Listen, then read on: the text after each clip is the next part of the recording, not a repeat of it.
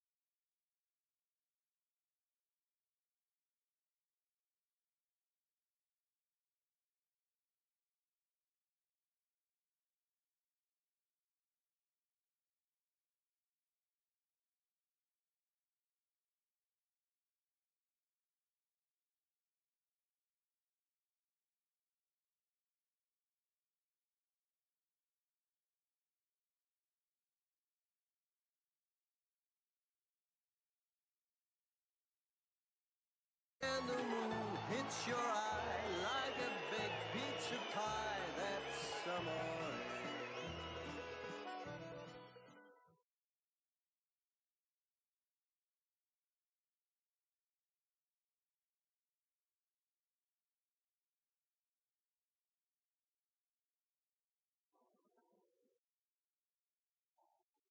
Thank you very much for joining me today uh, and for my talk about news as signal. Um, can you just turn over? I guess that uh, a few people of you might know me already from Twitter, from my Twitter account. It's ST Konrath. I started it four years ago and uh, just as an experimental uh, account. So everything I just try in my lab, I just push here on, on the Twitter account and to see the reactions and test features, whatever. Uh, I started it four years ago with a main focus on future of journalism and media and to write about things which uh, engage me, makes me uh, passionate about. So I'm interested in the future, um, so innovation, uh, also the dangers in market uh, percep uh, perception, what's happening out there. Um, on Twitter, as you can see, I have currently 110,000 followers. That has a reason. Uh, it was built systematically, and I will tell you a little bit about the background of it, uh, which helps you to understand why I talk about news as signal.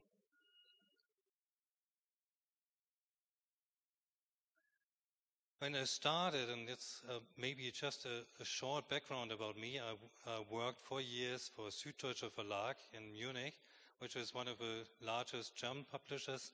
I was responsible there for digital and mobile business models to evaluate them, having a background in tech, so computer science and marketing.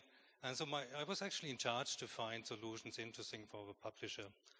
And when I started to work uh, on Twitter and to test social media, I, I, was really frustrated in the beginning, I have to say.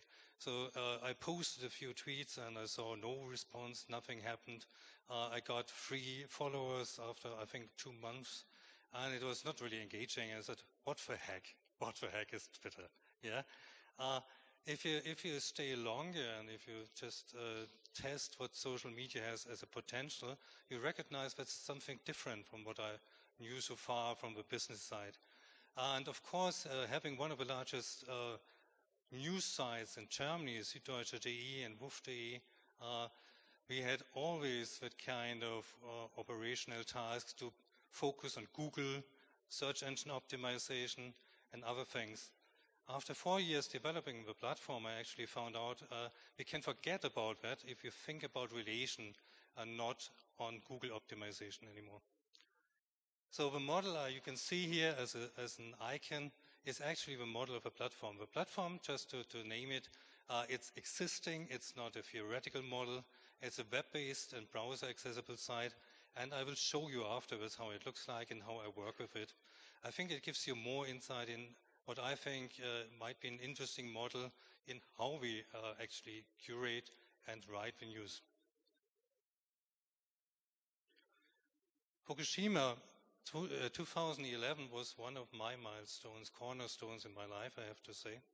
Uh, I was affected when Chernobyl, uh, the GAU happened, uh, being in, in, in, Bavaria at the time. So we were very cautious about the radioactive clouds out there. And Fukushima was just, I was actually working at the time. So it was about six, seven in the morning in Germany when I was already curating the information when I saw the breaking news coming in about what happened in, in Japan.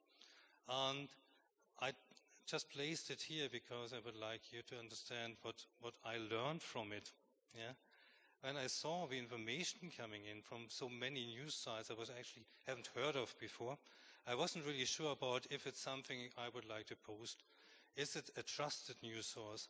Uh, what are the people actually telling me? So the, usually the broadcasters are very, uh, have a time delay until they start to publish things. Are there information I can get from Twitter, so from people actually staying in Japan, telling me about what's happening? Are there sources which uh, are not uh, Japan-based? So like uh, later we found out Google set up a site, people find a site which help people to find their relatives and, uh, and uh, other people they loved. Uh, so what I found out is um, it was overwhelming information. Uh, it was hard to handle. And having such catastrophes uh, in front of you, I've also recognized that I usually don't stick to one news site. I usually switch to many news sites to find any different or additional information of interest. So that's something I, I found is what's not really addressed so far from platforms. Before I will show you the platform and how it really works, uh, a few facts first. Uh, things we had in mind when we pro uh, developed products at Süddeutsche. This is a chart which shows you uh, the change in uh, media consumption throughout the years. As you can see, the colors are from 2009 to 2012, and you can see it actually split it according to the media categories.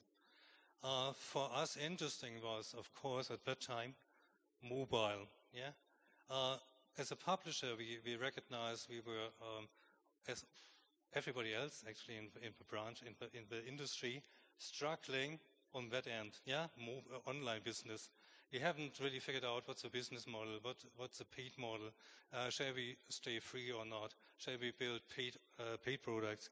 Now, mobile suddenly came up with people accessing the news from mobile devices, which is even more difficult to find a valuable business model. Uh, so that having that in mind, I recognized also that many people like me as well uh, check news regularly, especially more in the morning hours. And of course, I usually don't uh, start the Mac. I usually start uh, my smartphone, which is always on, uh, as you as you probably do as well, to check the emails to see what's happening in the world. And so this was also a hint for me. What would change if we have a platform which addresses that kind of need a little bit better? The second fact chart, um, which has a major influence on how we uh, develop product, it's uh, actually the engagement um, on different screens. So we are living in a multi-screen world, which is uh, another mess for many publishers and news organizations. As you can see, uh, the increasing amount of time people spend on different media. What does it say? I give you an example. When I was at um, Süddeutsche, we developed an iPad magazine, so a pure iPad magazine for international market. And uh, we had no idea of the costs only for that screen here. Yeah, it's only one screen. And we recognized we had to staff 25 people into that project, uh, project. 25 people, that's a lot of money. And as you know, and looking at tablet and uh, you have to come out with a new issue every four weeks at least, yeah, to, so that it makes sense. Uh, a four-week schedule for people, yeah, uh, editors, programmers, developers is, is a nightmare if you produce more than a PDF, yeah. And what I learned here was we need to take uh, into account that we have much more devices than today.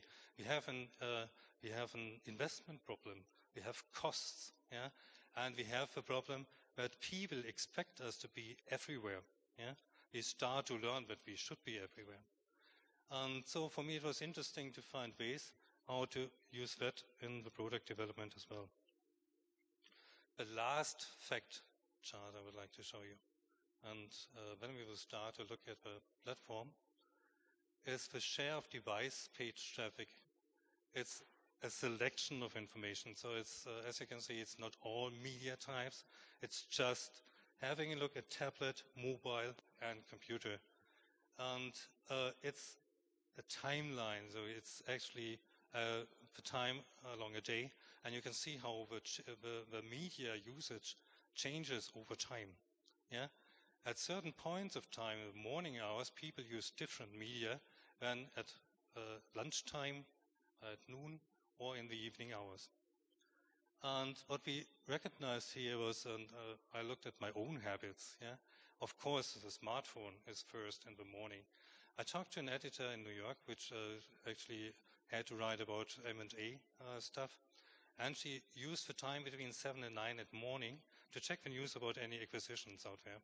And uh, she was not at the office at the time, so she just used it get an idea of the headlines of the topics of the day. So that in mind, it says the prime time for smartphone is actually in the morning hours. Uh, that means for any publisher, any news organizations, are we ready to address that? Are we ready to address that? And uh, we talked internally about that. We said, if, we, if the people want headlines, not actual articles, maybe, are we, have, we, have we got a feed for it? Yeah? Uh, have we got people actually working at that hour? Yeah? Do we have people to work overnight? Um, the second thing is, and that's obvious as well, uh, because during office time, the people actually start, of course, their PC and uh, get the news and uh, more in-depth articles at their place at the working desk. And as we can see, the tablet uh, consumption increases in the evening hours. That means that the people having more time, more leisure time, uh, more interested in more in-depth articles, are actually reading really in the evening. That is a, a, a challenge for a production cycle. Yeah, that's a challenge. The idea was to start with short breaking news in the morning, so to teaser things to get an idea of what's interesting, and uh, to to change the process of news uh, production during the time until noon here, and to use it to get an idea of what people actually read. What's the demand outside? Demand-driven journalism and to use it in the newsroom to uh, go deeper into uh, writing articles, to get audio, video, interviews, whatever. Uh, so to get more larger uh, articles ready until the reading time starts here, and for the evening, of course, as well. So maybe just one word again. Um, if you look at my Twitter feed, you usually recognize that I post early in the mornings till late night. Yeah, I'm currently publishing for three time zones, just also to test it. Yeah, what happens if we have news uh, ready for Australia, for Asia, which is uh, I'm living in Germany, to, near to the Austrian border, uh, which means uh, it's a time between seven and nine o'clock in the morning, six, six and eight o'clock actually. And Europe is clear. I think we, we know it uh, ourselves. It's throughout the day. The US starts at 4 p.m. And having that in mind, it's also what's, what's prime time in a different time zone?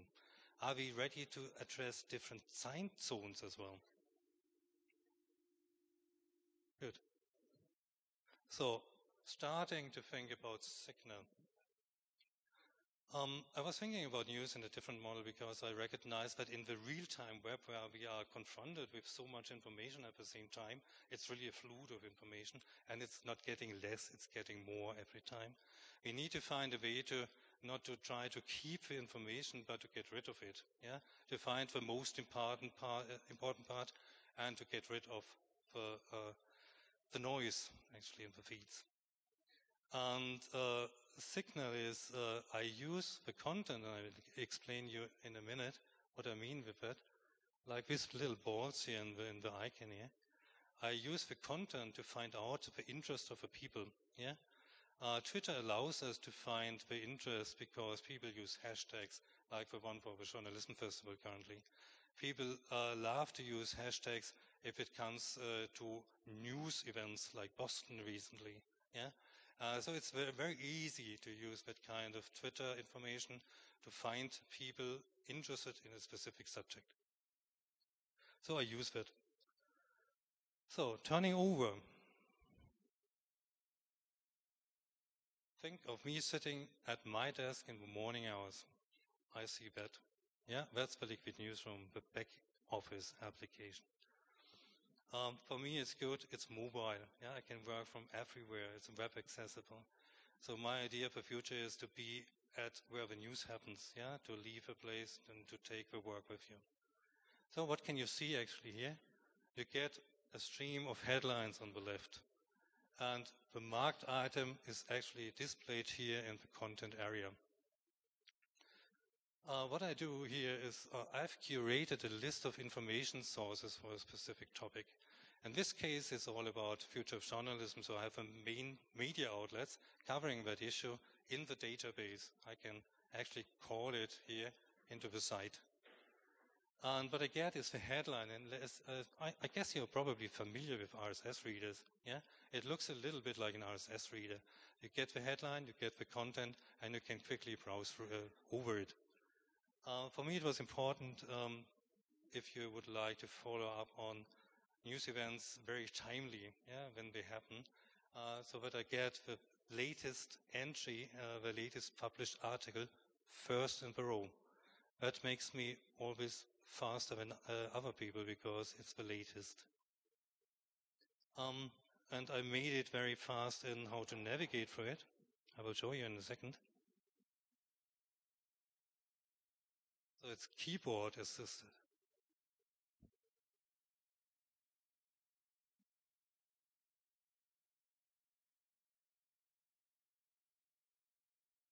So what did I did? I do? Uh, I just typed on the keyboard to browse very fast through the list.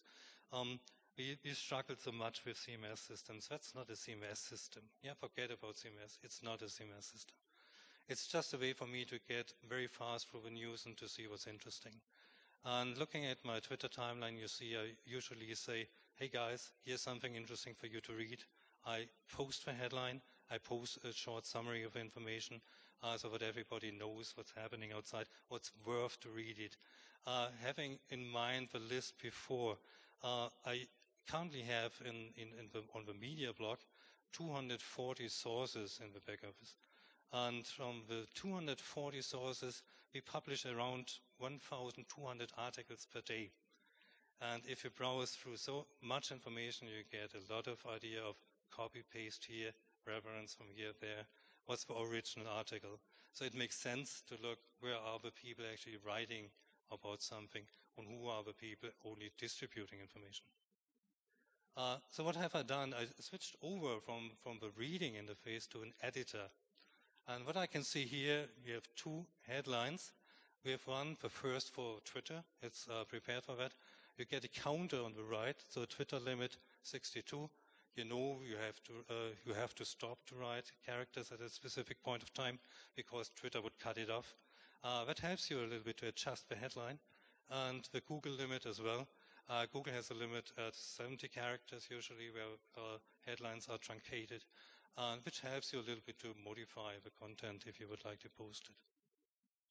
So Signal says, and having multi-screen facts sheet in mind, Signal says I have to publish the news where people read. Yeah, I would like to get them wherever they read. And if I look at how I actually read as well, I, my, my news gets me everywhere. Sometimes I'm on LinkedIn. Sometimes I read on Google Plus. Sometimes I get it as an email newsletter. So wherever I read, I would like to get the most important information. And I wouldn't mind where I get it. Uh, it should be delivered. Uh, so I just scroll down a little bit. So think of having that article prepared already for the readers. Uh, you can add the, author here. Mm.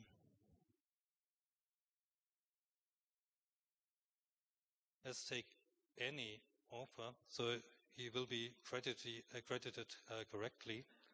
Uh, you can also see, if I can put a little bit above, you can see the, the channels you can select. Yeah. So the idea is to have a signal, which is the content itself, and to push it wherever you would like to have it. In this case, and that's what I do usually, I check if it's interesting for media journalism related uh, audience.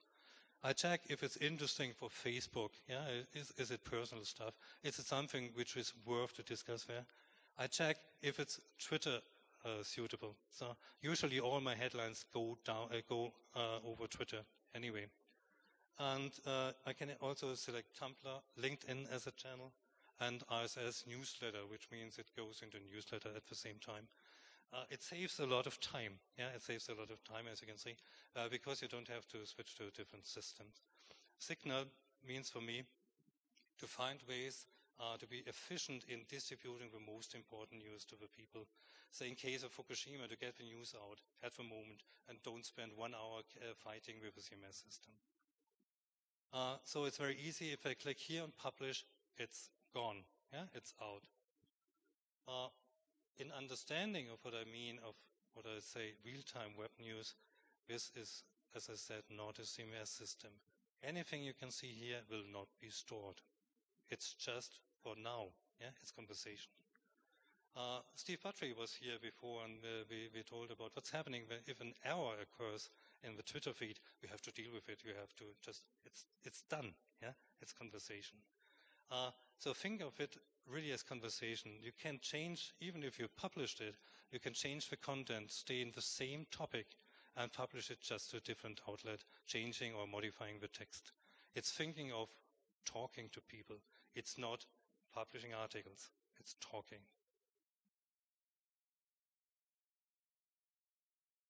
Um, for me, it was interesting to understand if I don't store information, I have to deal with the fact that Google would not recognize me. Yeah, Google works with articles which can be indexed, which can be found via search.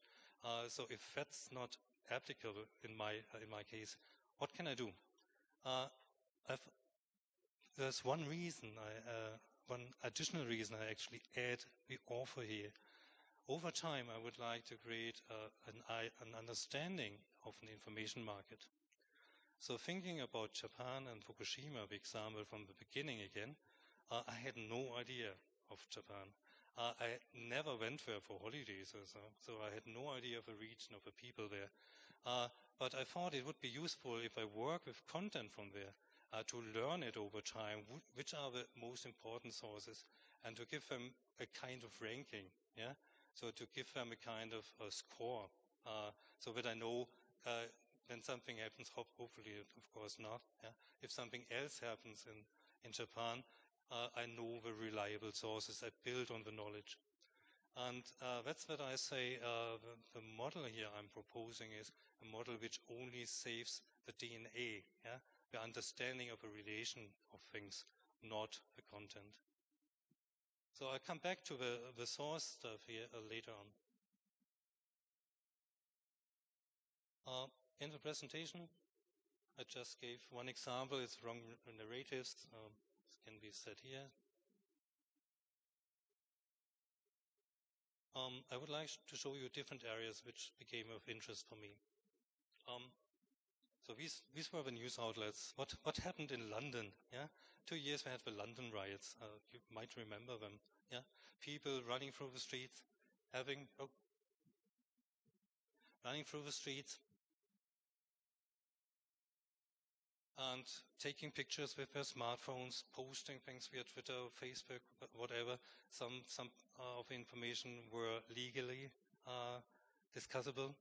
Uh, anyway, most of the things happened on social media. Uh, so for me, it was interesting to see if I have news outlets on the, on the one hand side. What happens if I would like to take care of what's happening on the social media side as well? So to find the people actually discussing something before an article can be uh, published. And that's why I added here um, a section which is called, uh, maybe I have to reload it, um, section which I call the Twitter section, which helps me to connect to that kind of conversation on the net.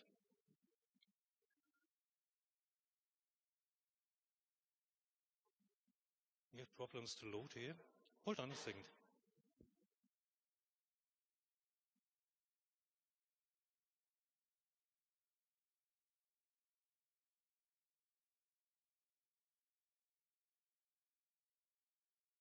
Okay, perfect. Uh, it looks like this. Now you get uh, curated lists.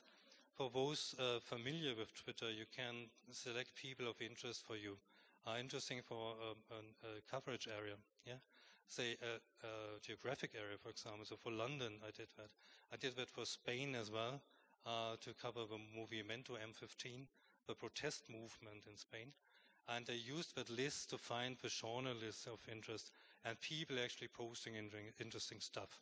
So this is on Twitter. Uh, the Liquid Newsroom connects to the Twitter list, which I can select from the drop-down menu.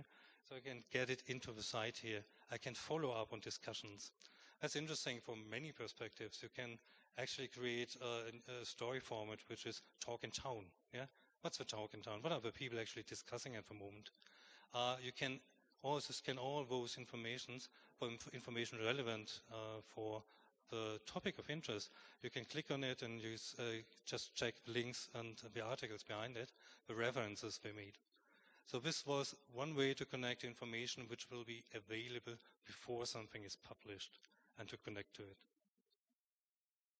Uh, the next thing I will show you, if I Just give you a little bit background. So thinking of what I've told you so far, um, we discussed that at the publisher as well. So what does the uh, Liquid Newsroom and real-time web do at the moment? It delivers the input stream. It delivers news in a very, very fast feed. Yeah, I can publish as a single person. I can publish 50 to 60 tweets per day without hassle. Yeah, it's very easy. Uh, the only work I have to do, which uh, which is amazing, yeah, you have time to read because it's so fast. And having time to read, you can more focus on the quality of the things you can post. So the Liquid Newsroom delivers value news until here. That's the real-time news. Yeah, then it stops. Here, the, normal newsroom work begins usually. So what I do is when I post things on Twitter, I, I check it on a real-time analytics uh, web board to see the traffic uh, based on the tweets I send out. I can see how people interact with that uh, information. And this information will be passed on to editors in the newsroom, so can work on uh, getting the articles deeper. Yeah, we know what the people actually are interested in. Maybe we get even input from people outside, so people sending back uh, questions over Twitter, questions over Facebook or Google Plus. So this is something which enriches the journalistic work behind it. One real world example again. Uh, thinking about what's happening in Spain uh, when May starts again. Uh, you've probably heard of Movimiento M15, which is the Spanish protest movement. It's uh, actually based on, of course, on the economic crisis, you know, which uh, the evictions uh, for many people losing their houses, are dramatic scenes out there, which uh, sometimes life-threatening. It's, it's, it's, it's a sad story. And we used the Liquid Newsroom first time last year uh, with someone really outside to, to work on the scene. Um, I talked to Patricia. She's Spanish, a Spanish journalist. She did the work for me this time as well. And we discussed uh, how we can use actual real world data as well as an information source. So having not only the news outlets, having not only Twitter in place. And what she did for me was, first of all, to, she told me which news outlets are of interest in Spain. Yeah, which are the news outlets we have to follow, which I actually put in the database for the LNR. And she also told me about the Twitter accounts we should follow to see what's happening.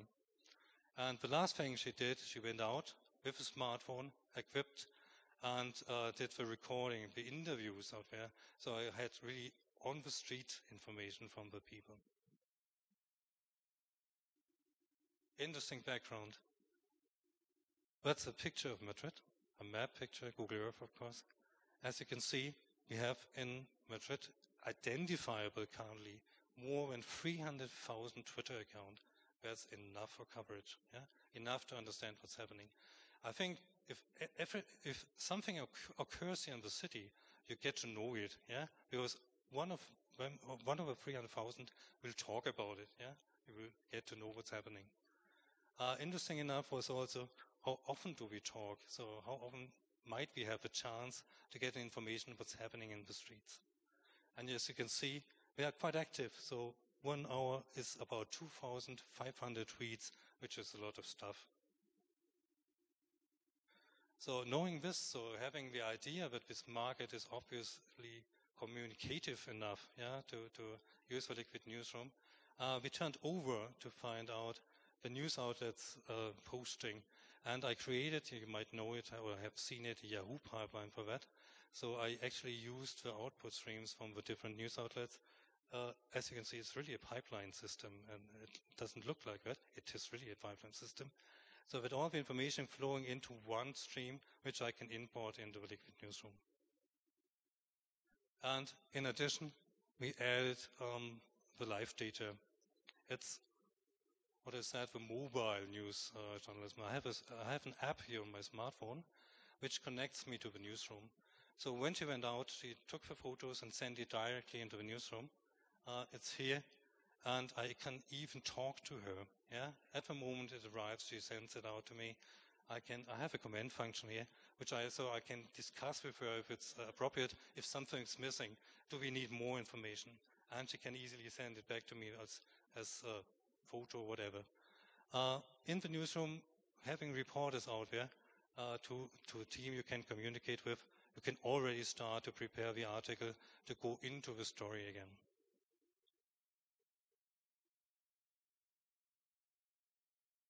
You can even add additional information in the news desk area. I would not go deeper here. So, Signal. Um, the idea was to find a news stream talking about Movimiento. So what does the world actually say what's happening in Spain?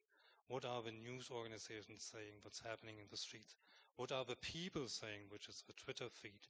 And what can a reporter actually find out as an in-depth story going into the living rooms of the people, talking to them directly?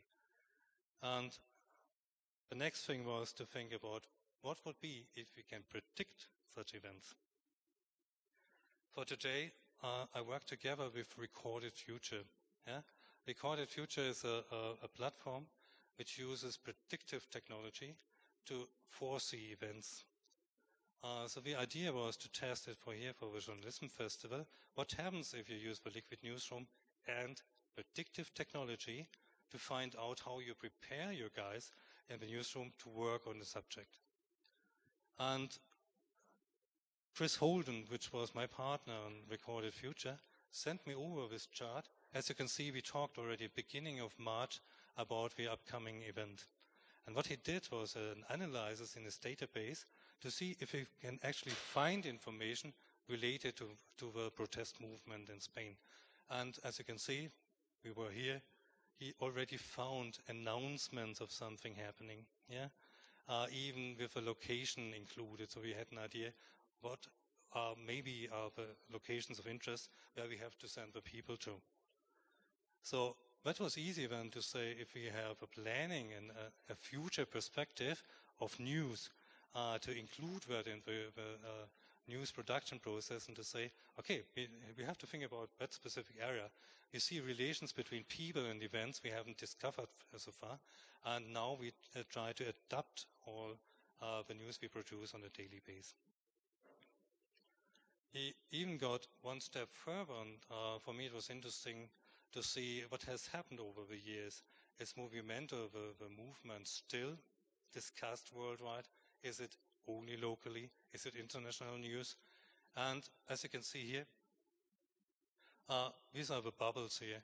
So that kind of discussion pops up all over the world. Yeah. Uh, so you can even decide using predictive technologies if it's something for international coverage as well, if it's something interested for people in other areas as well.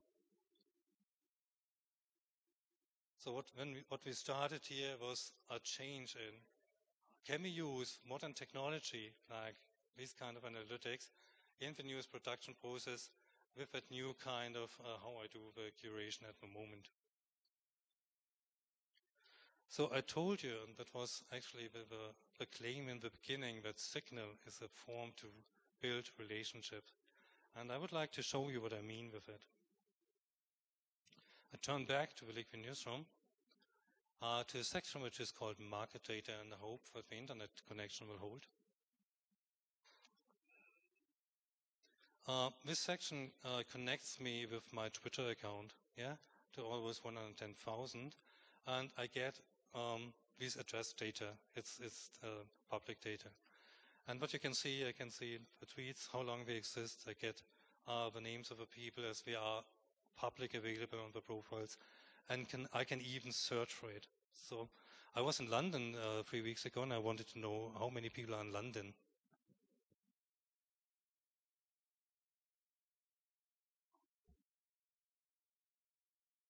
So I did a search through the database. As you can see, currently 799 people are located in London. Uh, I can search, it was uh, the time BBC was actually on strike at that day. So I wanted to know how many people from the BBC are actually in my database. And it is about 248 people uh, I'm somehow related. Yeah. Uh, Twitter is relationship. Uh, if you say, I follow you, you say, I'm interested in what you're doing. If somebody follows you back, he says, I'm interested in what you are doing. So you establish like a reader relationship on Twitter. And that's something you should build on, yeah? you know, I'm, I do not trust on Google, so I build the whole thing not on Google. So my only opportunity is to build on relationship. Uh, as you can see here, I have relationship. The next question is, uh, say, Irene uh, for example. If, if, is there any chance to connect to her more directly? And I just use the name and do a, a name search on LinkedIn to see if, if she might be available for interview. Yeah, if she might be available to uh, get in touch, maybe for an assignment work or so. Yeah, and as you can see, uh, it just uh, does a search on LinkedIn, so you can go even deeper into building that kind of relationship.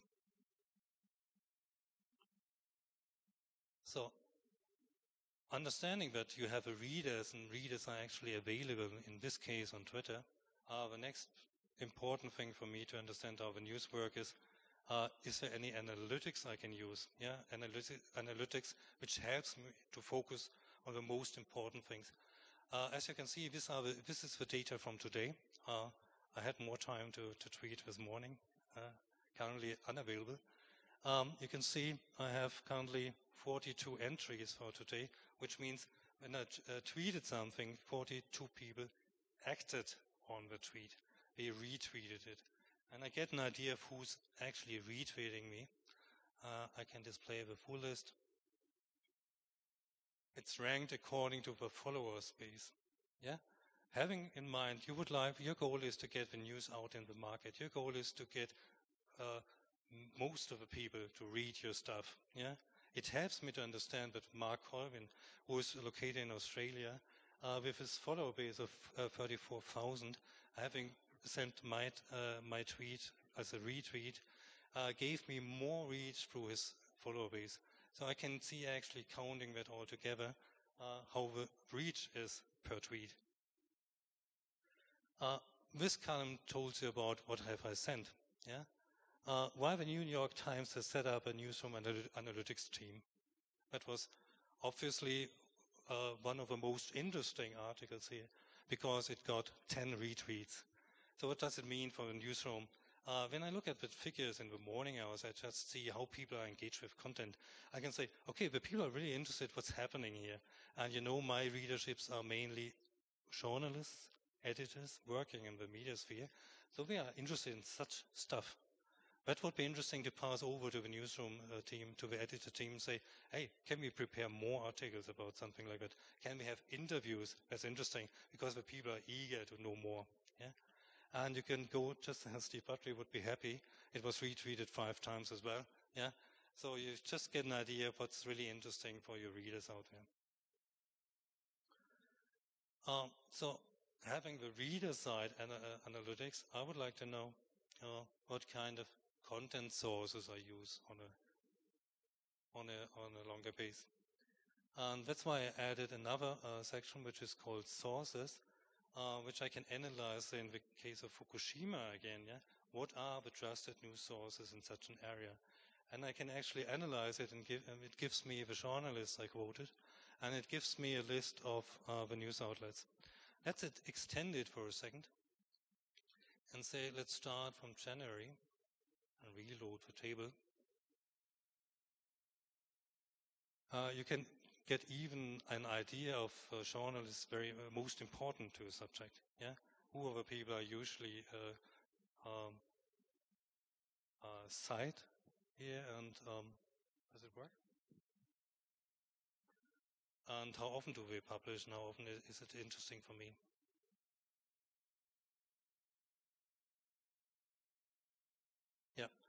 Josh Sternberg, 43 times, for example. It's about future journalism in this case. Yeah. So you get an idea of uh, what might be uh, someone you have to follow to. Uh, is, is it someone, someone interesting to speak to because he's knowledgeable of, about an area? So does that make sense? Maybe as a new business model. Yeah. Uh, having having in mind that you can create a highly topical feed of news. Uh, it, it brings you an audience which is very narrow focused. Yeah.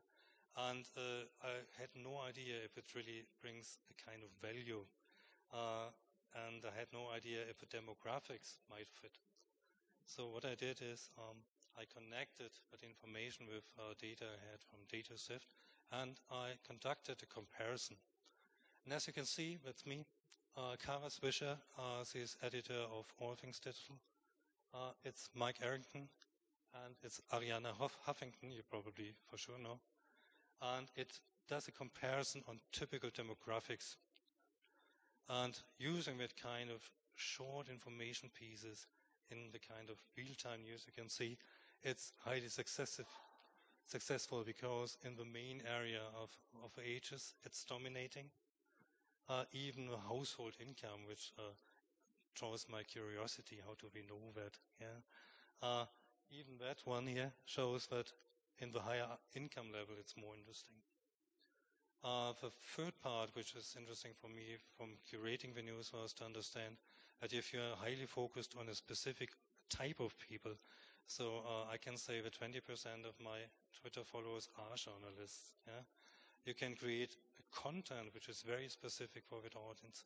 And that's interesting for advertisers, for, for everybody else. As you know, I don't advertise on my side. Uh, it's just for testing. But that's interesting for, say, different markets. Yes, think about sports, think about uh, even goods, goods market like wine or photography.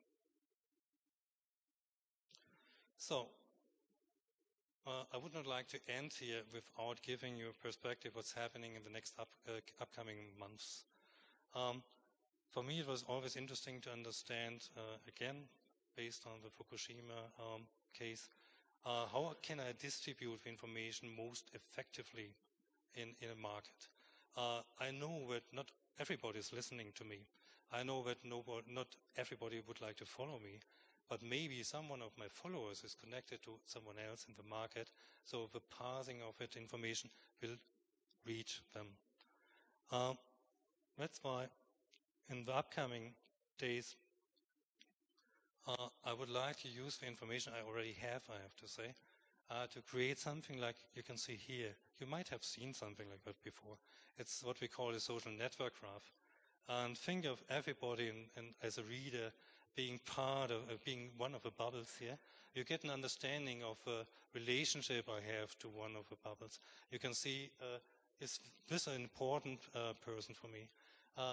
Who, how is this person linked to other people? And if I go over, over it, over with mouse, uh, I can see the relationships as well. Yeah. Say, I can get this guy here or this woman and this, this person here or this one here or this one here is connected to a complete different set of people. So if I get them to read the news and get them engaged with the news through relationship, relationship news, I can even reach those people behind it. Uh, so what's next? Next in, uh, in the sort of using predictive and using network uh, theory in how to uh, think about spreading the news.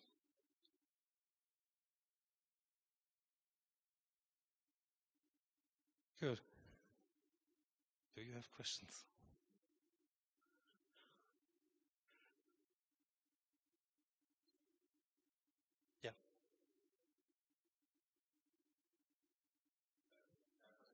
Yeah, yeah, for sure.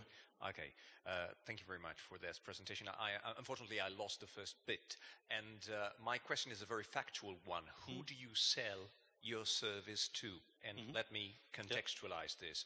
I am not a journalist. Mhm. I am a, a university researcher, and I teach the, what you showed in the last slide: network theory and social Mm-hmm. Yeah. network analysis. Yeah. Um, I work in censorship Yeah. of uh, social movements like Mhm. the Spanish Yeah. uh, Indignados one that Yeah. you showed. The problem I have is that I uh, uh, sometimes am, um, let's say, the target of interest of uh, the Ministry of the Interior or mm, uh, police officers, which are interested in repressing such movements, not studying them. So, do you have the same problems? Do you, uh, or do you know of other people in your position or your industry that work with them? And uh, what do you do with them in general? Yeah. Um, I would have ethical problems. Yeah. Uh, as a person, I would I wouldn't sell that service to them. Um, uh, I think a, few facts about what's uh, behind that.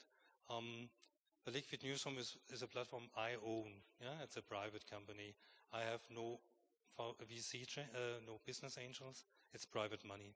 Yeah, that's the first thing. So I have no uh, no stress here. So I can develop a product just how I would like to do it. Uh, the second thing is wh- where does the money come from currently? Yeah, uh, of course I sell that service to brands. Brands are interested in uh, having that kind of interest graph. Yeah, to to actually target people uh, which have an interest in what we are doing, and that's where the money comes in right now. Uh, for me, and that's the passion part of me. Yeah, the passion part says, and maybe we have just to turn back to one of the slides, or to, to the slides to the actual newsroom. Um, my my uh, first idea was to create a kind of network, yeah, really a news network, and to find a business model which might work for journalists in different areas. Uh, as you can imagine, this incoming news stream is not only meant to cover news outlets as they exist. Uh, if I use the drop-down list here, it can actually connect me to any journalist which who uses uh, the liquid newsroom elsewhere. Yeah. Uh, say we have people working in Los Angeles in Beirut. Oh God. Yeah, sorry. Uh, in London, Perugia, for, for sure, should be, uh, because we are the, the local experts. Yeah. So this model is based on local experts. Uh, the people who are living in an area, who know the people, uh, who know the Twitter accounts, maybe personally. And I would like to create something like, say, a CNN network, yeah? People connecting to a larger news outlet, uh, having just the chance to select the news from a different area if, if they are interested in. Yeah? Yeah, cut? Okay. Last question? All right, yeah.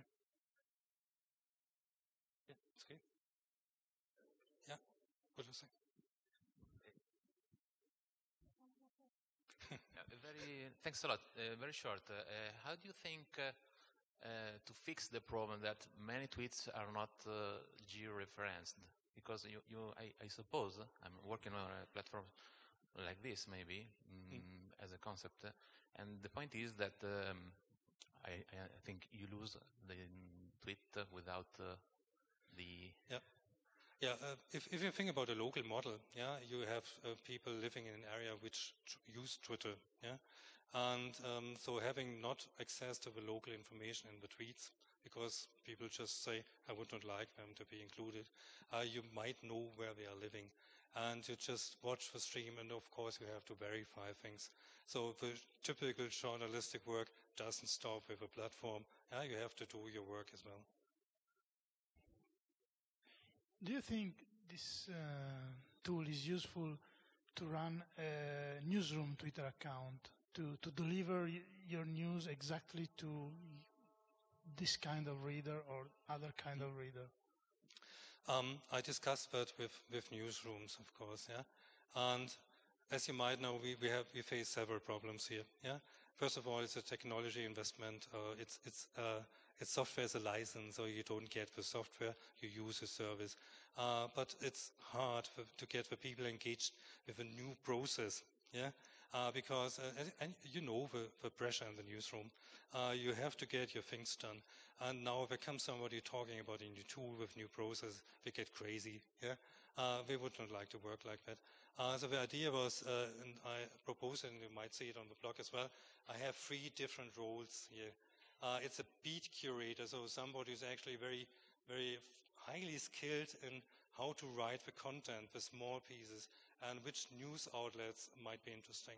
We have a data analyst, yeah, somebody who's actually reading the, the feedback from the market. So the real-time data from analytics, for example, the feedback on Facebook, Google Plus, what are the people talking, and give it back into the team. And we have uh, the last one, which is the source specialist. Yeah, somebody who's nothing to do than just to check the sources. Yeah, have we everything in in place, or is something missing? So coming back to the question, newsroom have uh, the newsroom has a, a problem. Yeah, uh, we have to face uh, a, new kind of training. Uh, you have to read very fast. You have to curate the information very fast. That's a challenge. Yeah, it it would take some time. So from my clients, actually, there's no newsroom. Uh, which brings me back to the question, which is this thing is planned for news. Yeah. So the idea is to use the income from the brand business and to build it on my own and not to wait for someone coming in.